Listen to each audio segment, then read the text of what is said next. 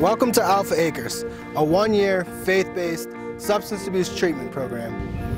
We don't focus solely on the addiction. Our goal is to develop the man into a person who can live life without the crutch of alcohol and drugs. So let's take a look around.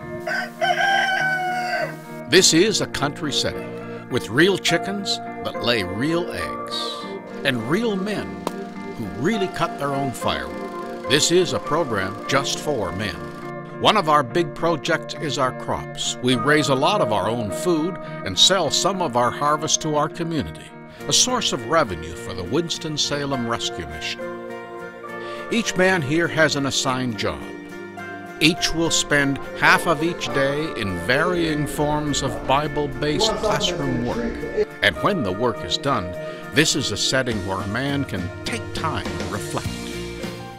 Alpha Acres is not in Winston-Salem, but we're a very important part of the Winston-Salem Rescue Mission. For half a century now, the Rescue Mission has been helping men overcome their addiction through God's life-changing Word. The Rescue Mission is multifaceted.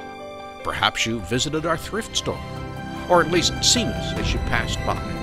We have medical service for people who need it, and help with food for our neighbors. But the city and its influences represent temptation for men who have often not yet heard the good news of Jesus' forgiving work on Calvary's cross. At Alpha Acres, a man can find solace. Over a hundred acres of sanctuary, only a half hour drive from the city, yet a world away. Each man must have a sponsor who commits to a small but regular financial contribution on his behalf. Here, men share their stories and build lasting friendships. Something I've not had in uh, almost 30 years of my life is peace. Growing up, you know, there was no God in our house. There wasn't no Jesus. We didn't talk about the Bible. Once I get to my teenage years, started meeting different people. I got in, started doing, you know, the little drugs and drinking. 19, 20 years old, I was already facing a couple years in prison on my first offense. About 27 years of in and out of prison, in and out of treatment centers. Treatment centers and uh, had no faith-based prisons, no faith-based, you know. It was all just based on to clean you up, you know, get sober. 30 days in and out. I'd finally come to the point where uh, I was running that option. Family had disowned me. Uh, they, they said they found a place, Alpha Acres, and would I be willing to go for a year. I turned to God and I asked God when I got to Alpha Acres if he, if he could do something in my life to pr pretty much prove it. He's started giving me my family back.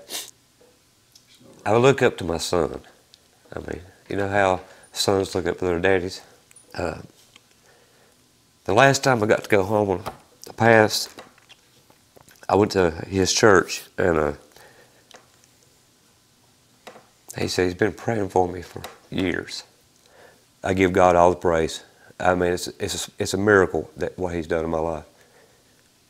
The anger, the just all my character defects were destroyed. I mean, I, I was nothing as a person no more. I was broke down.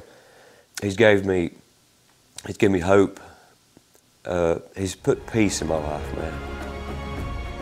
Alpha Acres is a place of new beginnings, a more complete chance to reflect on those things in life that really matter.